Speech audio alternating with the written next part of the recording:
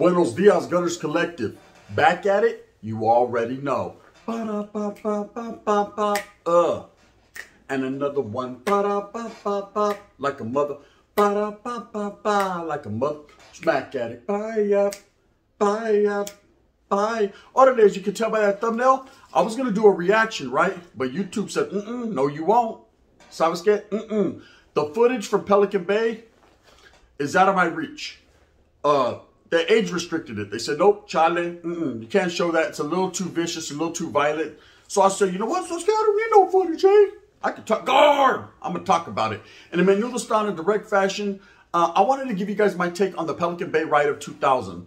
You know, the mystique of it.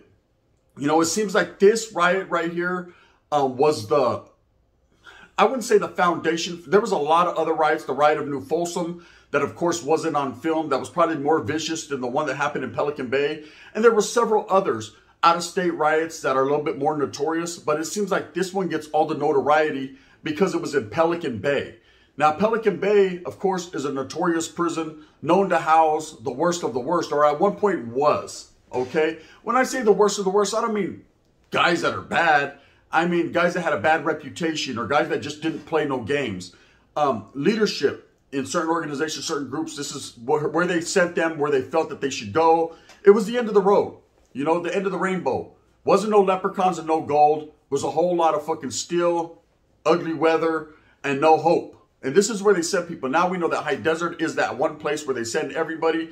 But at one point in time, High, uh, Pelican Bay was the spot. Now, in 2000, there was tension.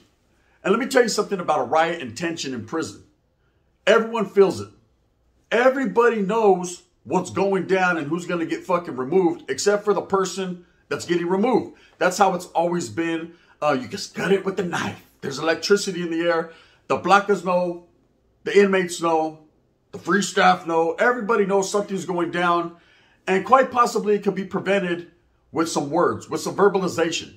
You know, the wigglization is real. Once people hit that yard with the mentality, we're going to get off, it's going down, there's nothing you can do to stop it. You just got to let the cards unfold. You got to let it play out. You know, in the year 2000 in Pelican Bay, this was the case. There was tensions boiling over between certain groups. Now, what led up to that? You know, I happen to have uh, some conversations. I've had some conversations with individuals that were actually there, that were in the know, that know the reasonings behind it.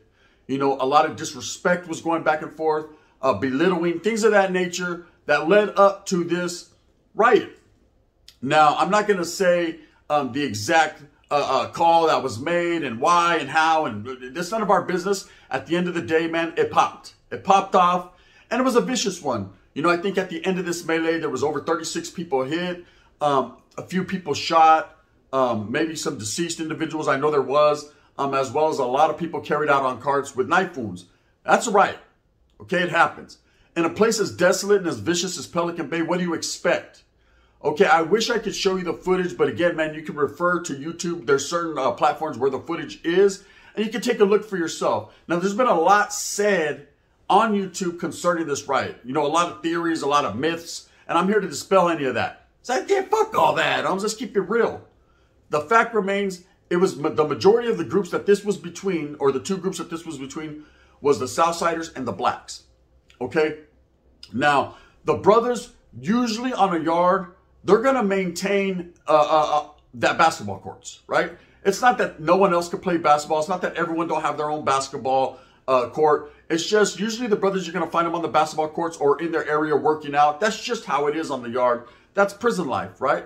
Um, there's a lot of people that walk that track or run that track. They're working out. So this day it was a typical yard day other than one group was actually ready for guerra. They were ready for war. Okay, and if, unless you know what's going on and you know how to spot these things, you would never know. One group came out fitted and committed to make it happen, whereas the next group were caught by surprise. Now, don't think that the other group that was caught by surprise didn't know that there was tension and shit was cracking. They just didn't know when. And that's the problem with these riots when you get caught with your motherfucking draws down. You don't know when. So I'm gonna go take a mouse. I'm gonna take a shit. Hey, well, watch out, because they're tripping. Nah, I ain't gonna trip right now. Hey, right? They're tripping. Um, people are gonna try to catch you when you're at your weakest point or when you're not paying attention. That's part of the game plan. There's a lot of people playing chess while others are playing checkers. Now, in this riot, there's been a lot said that, you know, and, and I'm here to dispel any rumors. Oh, the blacks got caught and a lot of them ran a lot of them didn't handle the business. Quite contrary to the fact of what you may believe, there was a lot of individuals that stood their ground. Now imagine a whole bunch of people running at you with pieces.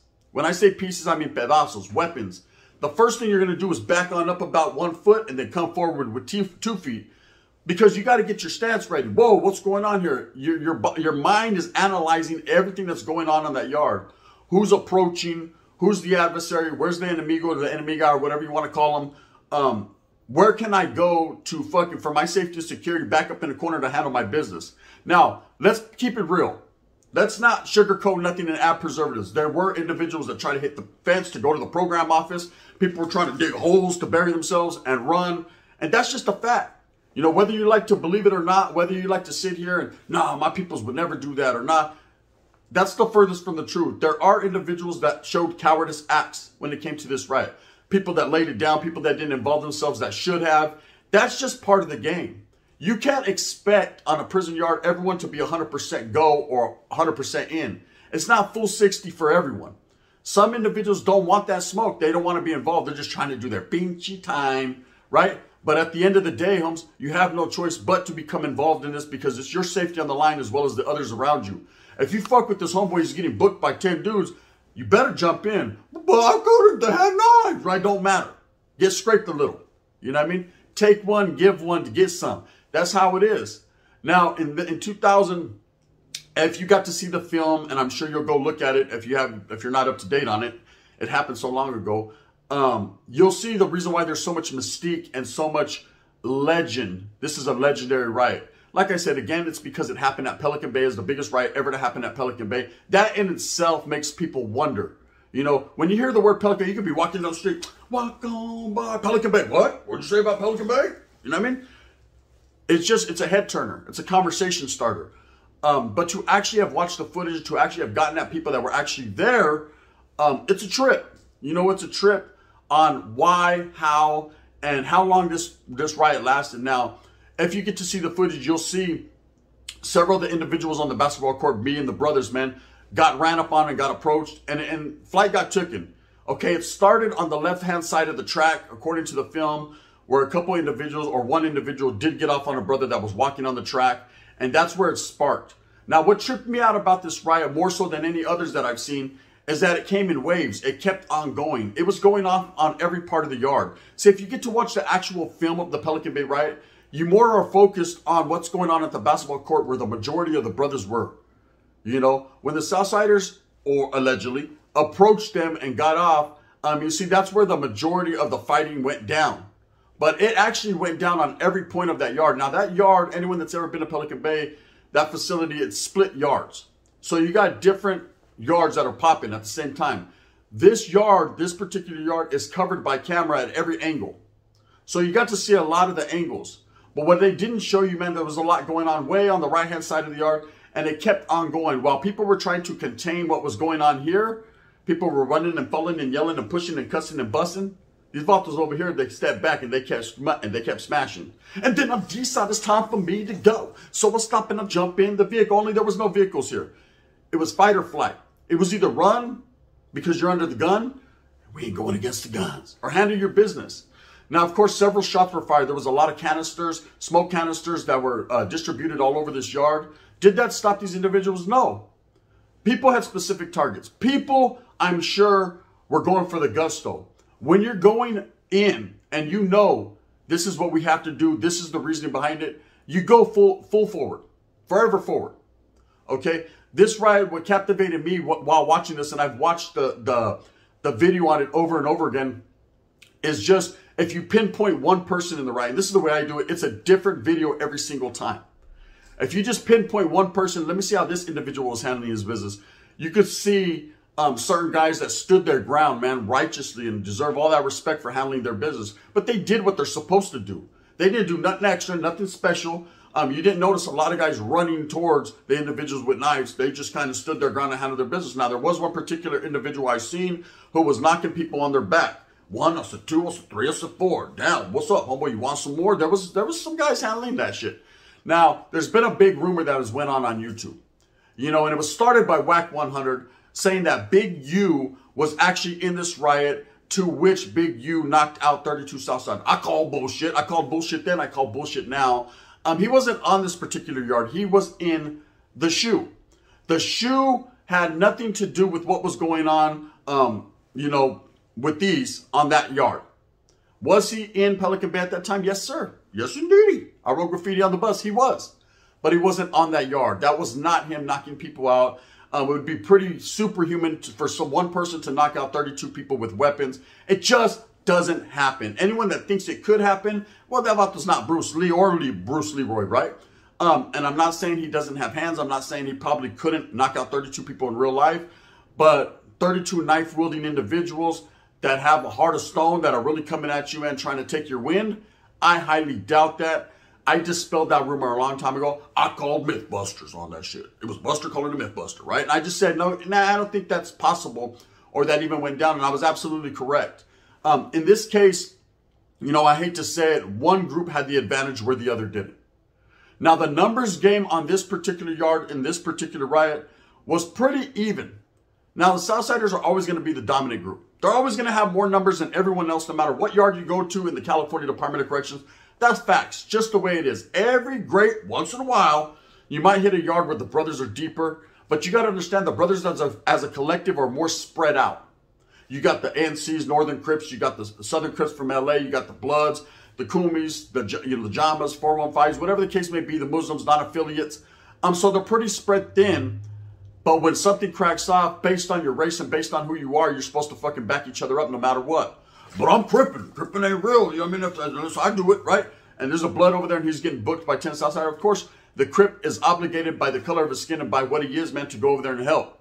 Now, does that mean every Crip or every blood is going to help the, the, op, the opposition basically fight who was the bigger opposition? No.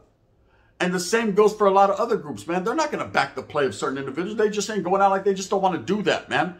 Um, but you're supposed to. There's rules and regulations and politics that deem that you have to. Now, in this case, in this Pelican Bay riot, there was a lot of individuals that decided that for no other reason, they were shook up. They were spooked. Nah, hell nah. I didn't start that smoke. Don't be no smoke. I don't want. I want. I don't want to be involved. Right now, as a collective, the Southsiders were all in a penny a pound. You know that doesn't mean every single one of the Vatos handled his business, but that means every one of those Vatos definitely was obligated to do that. And for the majority of them, they did. As you've seen, they took off running. They had certain points, man. I'm sure certain targets where they were going. Now, I'm not going to get into the intricate details of exactly who their targets were or why and what led up to this, because like I said, it's none of our business, man. What's better left unsaid is the best thing to do. It's been so long ago, none of that matters anymore. It's different on the yards now. But what makes this fucking riot so notorious and so, you know, where people are so intrigued by it, because I ain't gonna lie, I was intrigued by it. I was intrigued, and I've actually participated in riots or have seen them, you know, all the way from a young kid to an adult. So I know what it entails. I know exactly what it is. It's chaos. It's utter chaos. It's, it's catastrophe. It's a lot. There's a lot going on there. You know, I've been hit with battery packs, uh, uh, uh, locks with in socks. Uh, I've been hit with uh, with pedazos, uh, knives. You know, I've been stabbed on several occasions. Hit with chairs, um, boards, all kinds of different things that you wouldn't. Fuck, where'd you get a two by four and why? Oh, he sure got one, right? Fucked me up. Waterlake Casper from Playboys. He fucked me up. This is just how it is. You know, you grab whatever you can grab and you get off where you can get off. You know, and you hope that at the end when the smoke clears homes, you're only scratched up a little bit. Now, there was a lot of individuals that actually got hurt very, very bad in this riot. But like I said, there's been other riots like the riot in New Folsom that was much, much worse, but only wasn't televised or filmed. You got to understand what Pelican Bay was old Folsom setup. They had every part of this yard covered with cam with camera, you know, and and see that in itself, you know, I'm sure there was a lot of SEALs that noticed you know, they're trained for this. They notice the tension. They notice the way people, you know, when one said group is coming out, everybody is coming out. They're all fucking rain jacketed up, jacketed up, heavy artillery, heavy, heavy jackets. You know something's going down. These Vatos are trained enough to understand the situation at hand. If you noticed in the video, too bad we couldn't have the video right here because I was like, oh, to show you how to pinpoint everything. A lot of the brothers were in their white tees. Um, they were at ease. They were playing basketball. They were enjoying themselves. They're enjoying themselves on the yard. Now, what a lot of people don't know is prior to this, this was that was the full, the only second yard that they had come to, and I'd say maybe six months. Prior to that, they were on lockdown. Um, there was a lot of, of tension between the whites and the blacks at that time, whereas both groups were getting off on each other. This was only the second full yard that they had had in Pelican Bay in a long time.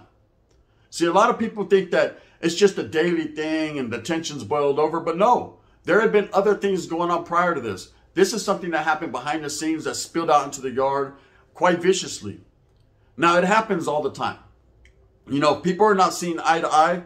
The first way to work things out usually are talks. Peace talks is what you would call it you know, this guy's going to get at that guy's going to get at that guy. And if certain individuals are disrespectful, they must be removed off the yard or they got to go, then they got to go. It's usually up, left up to their own people to handle their own business.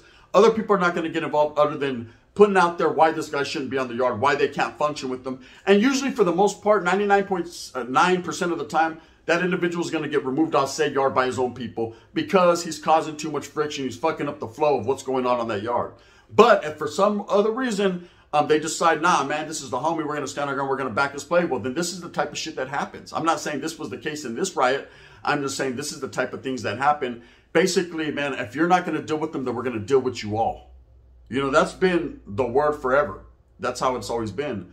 My whole thing with this situation is the mystique of it. Why people are so captivated by the Pelican Bay riot. Was Big U really there? No, he wasn't really there. Why are we so captivated? Because it was Pelican Bay.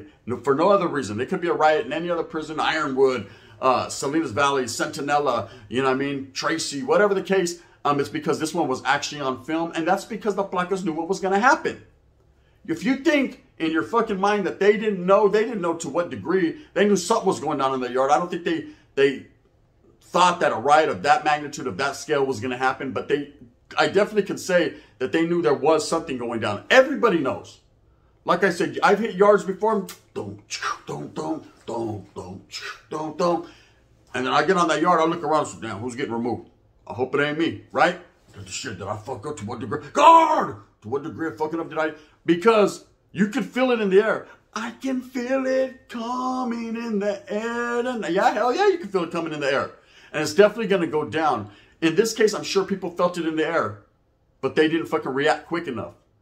Now, a lot of people have got at me. Hey, Gunner, why do they always say all the blacks ran and they didn't? They didn't. No, no. Some did run. A lot of the different races ran. Some ran to the fight. Some ran away from the fight. You know, some fucking ran to establish, like I said, a, a, a foundation so they could handle their business.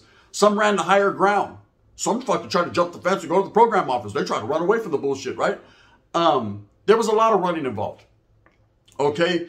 Um, but to sit here and defecate on the character of one group and say that they weren't about their business would be total and utter bullshit, man. Everybody in prison, I mean, everybody is about that. Everyone handles their business to different degrees. Of course, I'm not going to sit here and say, oh man, these vatos are better than the, they're the baddest. And nah, man, at any given time, anyone will get off. At any given time, everybody's the baddest, man. We're talking about grown men in prison, man, that have no hope, that are sitting there in fucking uh, Pelican Bay State Prison, man, over there with fucking rain coming down on them trying to play basketball. You think these guys are just going to fucking run? You know what I mean? They're going to run to it. Let's get it. Let's get it on. Order than Mills Lane, right? That's just how it is. Um, but you know, just the mystique of this of this riot, man, has always been captivating to me. Um, like I said, I wish I could show you guys the footage. YouTube won't allow me to. Please go look at the footage, look it up, and pinpoint one person, just one, and you'll get 36, 37 different views of this because every person you pinpoint from a different angle, you get to see what they've done. And you'll see some guys run, some guys jump fences, some guys hide, some guys bury themselves within other group segments. Um, you're just going to see a lot. Make sure that you tap in, you trip out on it. Um, and with that being said, that's my perspective on the Pelican Bay ride. Do I think it could have been avoided? Obviously, anything, any violence could be avoided, um, but it happened. You know, as far as the, the myth of Big U, he was in Pelican Bay at that time, absolutely, but he was in the shoe. He was not on the yard. He did not knock out 32, 36 people, whatever they said. Um, none of that happened. Anyways, with that being said, I hope that you move smooth with a purpose. You get everything that you want coming to you. Remember, at the end of the day, it's all about being human and doing what you can for your family, man. The holidays are coming up. Happy holidays to those of you that support me. And to, to those of you that don't, man, happy holiday. I hope you guys have, uh, you know, a great holiday as well, you know. Um, and just the way it is. If you like me, hit that thumbs up with a, uh, you know, a thumb like this. You know what I mean? Like and subscribe. If not, thumbs down. Heavy's going to be the head that wears the crown. I'm going to continue to strive and struggle for what I truly believe in, and that's the coming together of all people, man. Let's do it for reals. For really reals, for really reals? The gun. Bang, bang. And in that fashion.